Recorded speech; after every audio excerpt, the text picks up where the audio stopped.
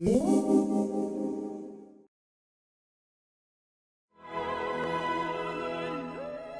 Juan de Dios Sala, director de cine universitario y del aula de cine, y quiero presentaros nuestra actividad para el mes de noviembre, un ciclo de proyecciones que tendrá lugar en el aula magna de la Facultad de Ciencias y que dedicaremos dentro de la sección Maestro del cine contemporáneo al cineasta de origen alemán Michael Haneke.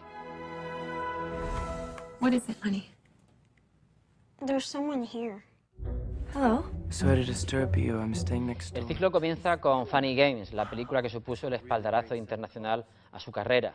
Eh, Seguirán títulos imprescindibles en su obra como La pianista, como Escondido, su particular acercamiento al tema de la inmigración y las lacras que eso supone dentro de una sociedad que no quiere esa inmigración.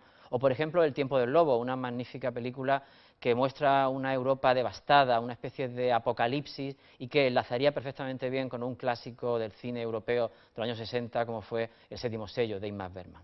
Para cerrar, tendremos dos de sus obras más recientes y más importantes. La cinta blanca, su particular acercamiento al nacimiento del fascismo eh, antes de la Primera Guerra Mundial, y sobre todo su última película, Amor, repleta de premios, ganadora de Oscar, de premios en diferentes festivales, y un acercamiento muy, muy duro, pero también muy brillante al tema de la vejez, que esa Europa del bienestar no quiere mirar.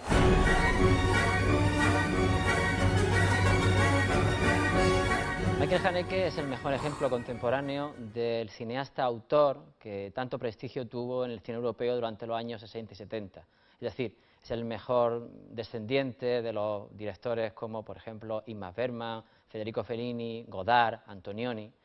Esa autoría en las obras de Haneke se plasma de dos formas muy claras. Uno en los temas que trata, que suele ser siempre una mirada crítica, ácida, a veces muy, muy dura, sobre la Europa del bienestar que él quiere sacar a relucir y criticar en sus películas. Y por otro lado, y no menos importante, el concepto de puesta en escena contar eso de una forma realmente personal, con un sentido de la planificación, del montaje, de los encuadres, especialmente estudiados, y donde por tanto esa autoría eh, se reparte en los dos terrenos, tanto en los temas a tratar como en la forma de contarlo en la pantalla.